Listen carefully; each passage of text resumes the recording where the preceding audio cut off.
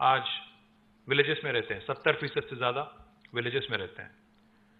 But ये भी बात सही है कि India is actually run by its cities and towns ये बात मैं इसीलिए कह रहा हूँ क्योंकि आज अगर आप तेलंगाना देखेंगे हमारी अगर पूरा जियोग्राफी अगर आप देखेंगे the entire geography the entire area of Telangana we are geographically the size of South Korea 112,000 square kilometre एक लाख बारह हज़ार स्क्वायर किलोमीटर हमारी जियोग्राफी है। और अगर आप पॉपुलेशन के हिसाब से देखेंगे तो हमारी साइज़ होगी मलेशिया की। हम करीब करीब चार करोड़ हैं, आबादी, जनता। तो मलेशिया के साइज़ के हैं। और हिंदुस्तान में अगर देखेंगे आप तो आज हम 28 राज्यों में तेलंगाना 11 और 12 स्थान पे 12वीं स्थान पे हैं पॉपुलेशन के हिसाब से और आबादी के हिसाब जियोग्राफिकल साइज़ के हिसाब से। तो हम ना बड़े हैं, ना छोटे हैं, हम बीच में कहीं हैं। और आज अगर आप देखेंगे, तेलंगाना में सबसे अहम सिटी सबसे इंपॉर्टेंट सिटी है हैदराबाद। साथ ही साथ हमारे 142 और, हैदराबाद के अलावा 142 और म्यूनिसिपैलिटीज और कॉरपोरेशन है। बट जैसा अभी मैंने कहा आपसे while India lives in its villages India is run by its cities and towns and the reason why I say that is because एक हमारी हैदराबाद शहर ऐसी है, जहाँ से आज तेलंगाना का 45 से लेकर 50 परसेंट तक जीएसडीपी यहीं से आती है।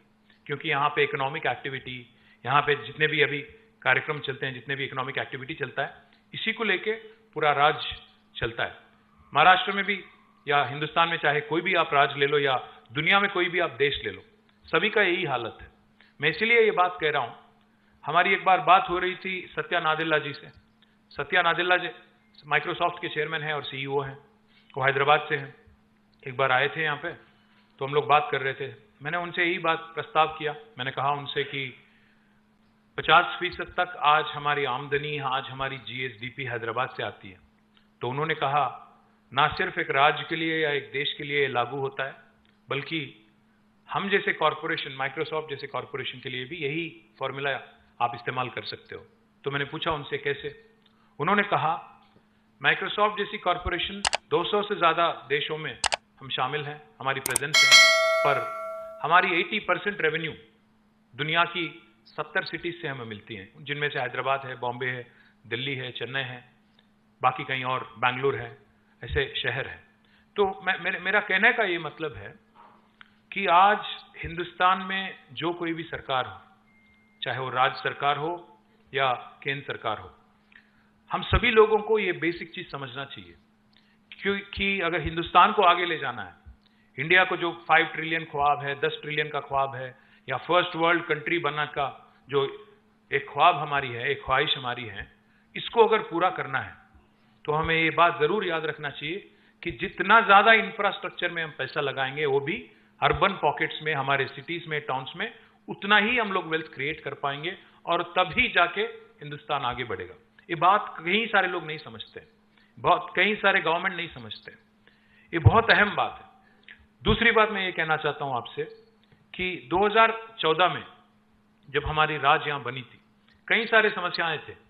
पहली the first and foremost problem that we faced was the challenge of electricity बिजली की खिल्लत थी, बहुत प्रॉब्लम थी। हफ़्ते में दो दिन पावर हॉलीडे डिक्लेयर किया जा रहा था। हफ़्ते में दो दिन इंडस्ट्री बंद करना पड़ता था। और फ़ार्मिंग सेक्टर के लिए फार्मर के लिए हम दिन में छह सात घंटे से ज़्यादा पावर नहीं दे सकते थे। और घरों में समर आ गया तो पूरा दिन almost eight to nine hours of power cut अगर आपको एक छोटा सा छोटा एक जूस स्टॉल भी चलाना हो, एक छोटा जीरोक्स सेंटर भी आपको चलाना हो इन्वर्टर के बगैर जनरेटर के बगैर काम नहीं चलता था। अपार्टमेंट अगर है कोई सिटी में जनरेटर तो लगना ही लगना है। आप अपार्टमेंट में उतरते ही लिफ्ट चढ़ने से पहले आपको डीजल वाला, आपको स्मेल आता था हर जगह। ये वाला हालत था। स्टेट का डिमांड था दस हज़ार मेगावाट से ज़्यादा। बट हमारी इंस्टॉल्ड कैपेसिटी थी सात हज़ार मेगावाट तो हम लोग पावर डेफिसिट स्टेट थे। तो सबसे बड़ा चैलेंज तो ये था। और दूसरी बात, तेलंगाना राज्य बना एक नारे को लेकर कि पानी में जो हमारी रिवर वाटर है, पानी है उसमें हमें जो इनजस्टिस हमारे साथ किया गया, जो ना इंसाफी हमारे साथ किया गया, जो अन्याय हमारे साथ हुआ है, उसको करेक्ट करना था। और तीसरी बात, बहुत गरीबी one of the most backward states in the country कहा जाता था तेलंगाना को, क्योंकि काफ़ी सारे हमारे डिस्ट्रिक्ट्स हमारे दस जिला थे, दस में से हैदराबाद को छोड़ के बाकी nine backward region grant fund मिलता था हमें बीआरजीएफ नौ जिला को केंद्र सरकार ने घोषित किया था कि ये बैकवर्ड ज़िले हैं। तो ये हमारी हालत थी। 2014 में न बिजली थी, न पानी थी, गरीबी हर जगह। हैदराबाद जैसे शहर के बारे में कई सारे शंकाएँ हैं कि क्या होगा इसका। ये वाला हालत था।